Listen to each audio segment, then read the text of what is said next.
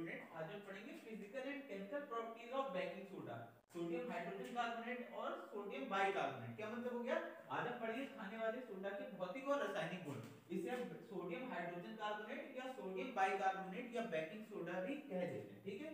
और uses of sodium bicarbonate और हम सोडियम कार्बोनेट के उपयोग के बारे में भी पढ़ेंगे। तो पहले पढ़ लेते हैं इसकी फ़िज़िकल और केमिकल प्रॉपर्टीज़ भौतिक और रासायनिक गुण। तो देखिए फ़र्स्ट क्या है? इट इज़ नॉन इन्फ्लेमेबल यानी अज्वलनशील होता है, यानी कि जल्दी जलता नहीं है, ठीक है? Powder dust is not explosive इसका जो पाउडर डस्ट होता है, वो एक्सप्लोसिव नहीं होता। क्या मतलब है? इसके पाउडर के जो कण होते हैं, वो विस्फोटक नहीं होते यानी उनसे जल्दी कहीं भी ब्लास्ट वगैरह नहीं होता। यानी बहुत रिएक्टिव नहीं होता ओके पाउडर डस्ट का मतलब है इसका जो चूर्ण होता है मतलब कि पाउडर फॉर्म में पाया जाता है व्हाइट कलर के आगे आप पढ़ेंगे भी it is it is it's boiling point BP का मतलब क्या? Boiling point it is boiling point is 851 degree Celsius, यानी कितने डिग्री सेल्सियस पे उबलता है? तो 851 डिग्री सेल्सियस पे, ठीक है? जब इतना आप इसे टेंपरेचर देंगे, तब ये बॉईल होगा okay melting point is 50 degree Celsius. और कितने डिग्री पे ये मेल्ट होता है, यानी कितने डिग्री पर ये पिघलता है तो ये 50 डिग्री सेल्सियस पे क्या होता है? मेल्ट होता है। देखिए, इसे हिंदी में समझ लेते हैं। इसका गलनांक 50 डिग्री सेल्सियस तथा कंचनांक 851 डिग्री सेल्सियस होता है ओके फिर थर्ड है फोर्थ पॉइंट है इसका it is basic in nature क्या मतलब हो गया? ये प्राकृतिक रूप से क्षारीय गुण का होता है। यानी इसमें किस टाइप की प्रॉपर्टीज़ पाई जाती? जैसी बेस में पाई जाती है ठीक है? वैसा ही ये होता है क्षारीय गुण का, ठीक है? अब इसके फिर पॉइंट को हम पढ़ लेते हैं। It is a white crystalline powder क्या मतलब हो गया? ये सफ़ेद रंग का चमकदार पाउडर होता है। यानी जब घरों में ये यूज़ होता है तो आप कभी देखेंगे तो ये चमकदार होता है। यानी शाइनी होता है व्हाइट कलर का एक पाउडर फॉर्म में होता है, ठीक है? लास्ट इसका पॉइंट पढ़िए। It is bitter and salty taste क्या मतलब हो गया?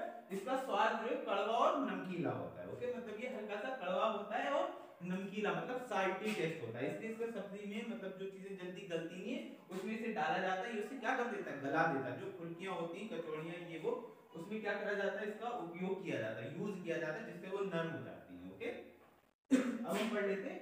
यूजेस ऑफ़ सोडियम बाइकार्बोनेट क्या मतलब हो गया? सोडियम बाइकार्बोनेट के उपयोग, जिसे हम बेकिंग सोडा या खाने वाला सोडा भी कह देते हैं। उसके यूज़ और प्रॉपर्टीज़ के बारे में हम पढ़ हैं। तो इसके यूज़ के बारे में पढ़ लेते हैं। It is use in fire extinguisher क्या मतलब हो गया?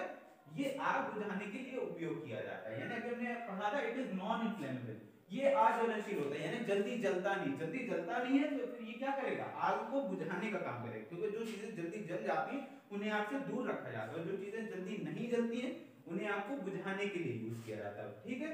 तो ये लिखा है ये आग बुझाने के लिए उपयोग किया जाता है। जैसे वाटर होता है, वो जल्दी जलता नहीं है तो हम उसे आग बुझाने के लिए रखते हैं ओके फिर सेकंड नंबर पर है it is use in beverage क्या मतलब है? ये पे ये पीने वाली चीज़ों में प्रयोग किया जाता है। जैसे कोल्ड ड्रिंक है, ठीक है सोडा है, जो लोग पीते हैं तो उन सब में क्या पाया जाता है? यही बेकिंग सोडा पाया जाता है, यानी खाने वाला सोडा इसीलिए इसे बेकिंग सोडा भी कह देते हैं। जो कोल्ड ड्रिंक होती है, उसमें आपने देखा जब उसके डॉट या उसके ढक्कन को खोलते तो एकदम से क्या? बबल्स टाइप के निकलते हैं, यानी बहुत रिएक्टिव ऐसी लगती है जैसे वो है। और पीने के बाद डकार जैसी भी आती है, ठीक है? तो क्यों आती है? क्योंकि उसमें क्या पाया जाता है? ये पाया जाता है क्या? सोडियम हाइड्रोजन कार्बोनेट या बेकिंग सोडा इसे हम खाने वाला सोडा इसीलिए बोलते हैं क्योंकि हमारी खाने पीने की चीज़ों में ही यूज़ किया जाता है, ठीक है? मिलाया जाता है कोल्ड ड्रिंक में भी okay it is use as a reagent in laboratory क्या मतलब हो गया? ये प्रयोगशाला में अभिकारक के रूप में प्रयोग किया जाता है। ठीक है? रीजेंट के बारे में आप पहले पढ़ चुके हैं। आप प्रीवियस वीडियो जो लिस्ट है, उसमें आप जाकर देख सकते हैं कि रीजेंट किसे कह देते हैं अभिकारक ओके तो ये लेबोरेटरीज या प्रयोगशाला, जहाँ पे साइंटिस्ट या वैज्ञानिक लोग होते हैं, वो इस पे रिसर्च करते हैं या इससे और नए केमिकल बनाते हैं। तो इसका वहाँ पर प्रयोगशाला में इस्तेमाल किया जाता है। ओके इसका लास्ट पॉइंट पढ़ लेते हैं। It is use as a drug to cure the acidity of stomach क्या मतलब हो गया?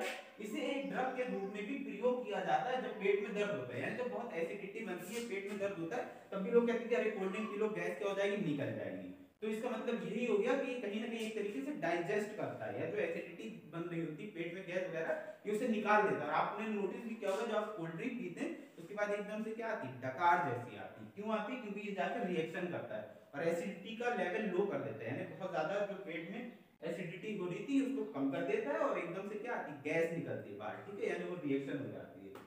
तो आज हमने पढ़ा किसके बारे में?